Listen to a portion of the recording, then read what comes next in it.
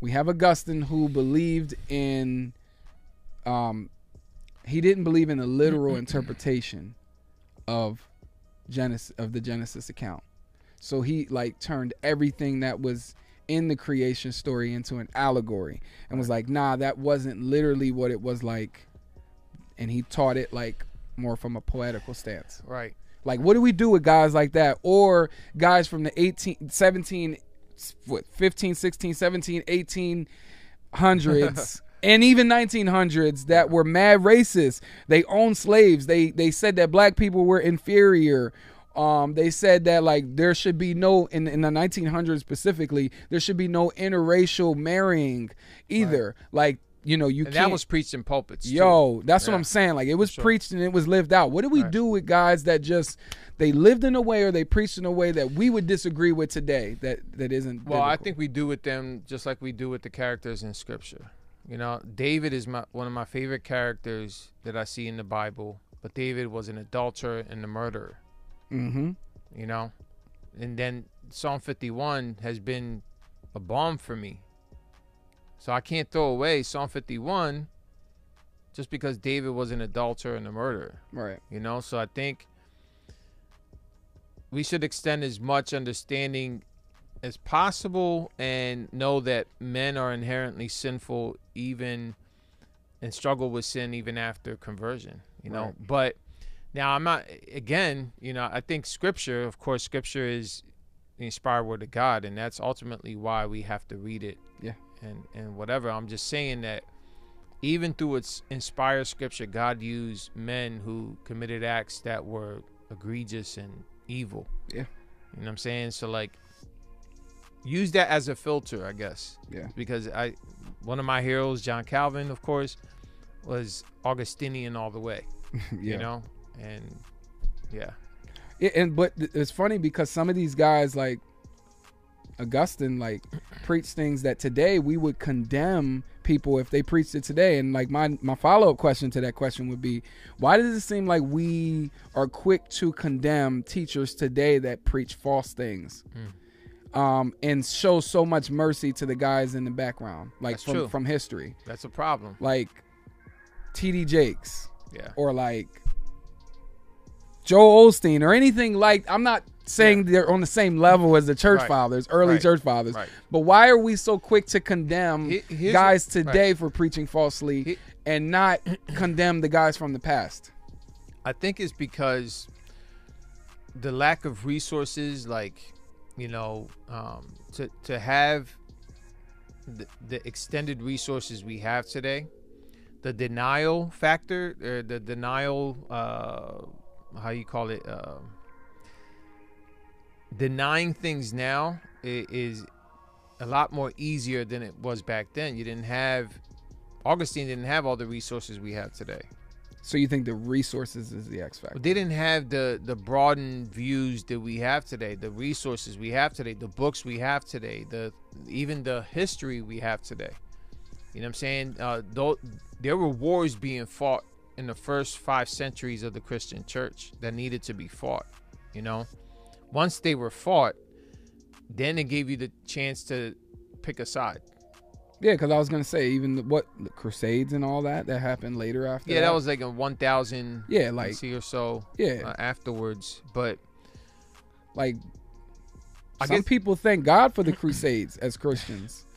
uh, Like I don't know. Christianity wouldn't have been able to spread worldwide the way it did, and it became mainstream again in the Nah, world. Like ignorance. They don't understand the Crusades, you know. But they were like, oh well, they were just defending the turf. no, no, that's not what they did. But yeah, so I, I think that um, I think the problem with like a Jakes, for instance, is that he has the history, he has the points of references, and yet he still holds to a oneness Pentecostal view. Right. So that would be the difference, I think. Okay. Gotcha. Um. Sorry, I'm trying to type at the same time. Sorry.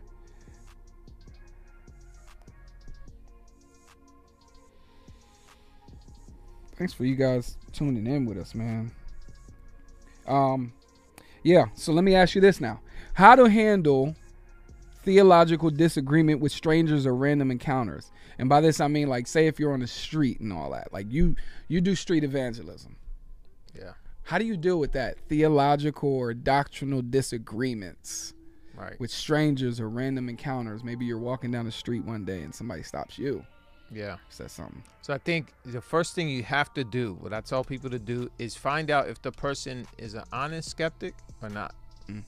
That's that'll determine whether you continue conversation or not. Yeah. Is this person actually digging in for info? Like, is- are they interested in what you have to say, or are they, you know, honestly, you know, seeking a, an answer or whatever? Yeah. But if they're seeking to argue, then cut it. Yeah. Say, look, man, I ain't got time. Right. There's a point where you you you and You'll again, a lot of this has to do with discernment. Right. You have to have that You'll- discernment and wisdom and even experience. You'll waste a lot of time, bro. I wasted so much time with people that Yeah. hours and Yeah. nothing. So honest skepticism is what you want. Sometimes you got to allow a person to to stay where they're at. And like God is God is almighty. God is sovereign. Yeah. So those that are his, he's going to find a way to to to pull them in. Yeah. whether it's through you or somebody else. And sometimes we always look at it like it has to be us. Yeah. Nah, sometimes they sometimes they got to reject us in order for them to accept the truth later. Yeah. This is just this is just the way it is. Um, let me ask you this: Have you ever had to separate until certain conditions were met? Like until this person says or agrees to this one thing, we're gonna separate. Um, good question. Um, I can't say yes, yes. I think, but the, here's the tricky thing: is that it's it hasn't been communicated. Right. It's understood Yeah. because of what happened, right? Things happen, but there's a separation that's understood. Ha- you know, there's an understanding that there's separation because of this, but there hasn't been conditions placed. You know, Okay, yeah. like for y'all to be, for us to to reconcile to get together, this is what's has to happen. Right. Um, nah, that hasn't. So uh, it's almost a yes and no. There, it's happened, but it, yeah. Now that I think about it, it's like, wow, you know, there's a lot of things that weren't said. Yeah. You know. Again, this episode is challenging us, and Yeah. and right before we get into the comment section, I got one more question for you. All right. All right. Has someone ever separated from you because of doctrinal disagreements? Absolutely. So get into that. Yes. A lot of people. when I became reformed, it was over. You know. uh, Done with them. it, you know, and honestly, I laugh now, bro, but It hurt. it hurt, bro. Mm. It it it it dug into me for years. You know, the people that I loved and discipled were distant and cold, Mm. almost. You know, and then uh, at times I felt like they were fake because they were like smiling with me, and and you know when they saw me, and then when they they were around other people, they acted like you know Mm. they didn't know me. Yeah. Uh, you know, they, they stopped liking my stuff on Facebook. They cut me off on Facebook, you know, and all that. Like that was hurtful. Yeah. Um, yeah, yeah, For sure, man. yeah, man. So let's get back to this comment section. I, I I did I did like those um those answers you gave to the speed round questions today. Yeah, Yeah. yeah. We're good. Um, let's see. Tom Wolf said we should use every opportunity, including holidays and current events, to evangelize. If the general public is thinking even peripherally about God, grab that opening. Hmm. Yeah. Yeah. Here, here's a. So I want to add this because I think this is important for those of you who think theologically. So I think the way you view how God saves greatly affects an issue like this Okay. because God's sovereignty. God's sovereignty and also the whole synergism, monergism, you know, those those are super important because they drive the way you evangelize and share and even approach people, you know what I'm saying? So I think um His salvific providence. yeah, you know? Yeah, I, I think that um those so as a someone who's monergistic in in my view i'm left to utterly depend on god to convince or save this person. A synergist i think i would argue uh, is dependent on the person to be convinced Yeah. and accept. That affects the way you interact with people. That's why theology matters at that point you know because it greatly affects the way you come across people. Um, and so uh, uh, I would say an unbiblical view of of of someone's salvation and how they come to it uh, that can drive unbiblical practices. Gotcha. You know, um, so that's that. I just wanted to say that because that is a an important point to make when you interact with family members who have Easter eggs.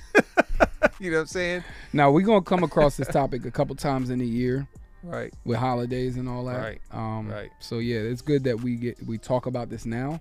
Right. It kind of sets it up for later too, Yeah. and it opens up the door for more conversation because I'm sure everyone right now that's listening is gonna think on this, Mm. and we're gonna come back to it and think on it some more Mm. and talk on it some more.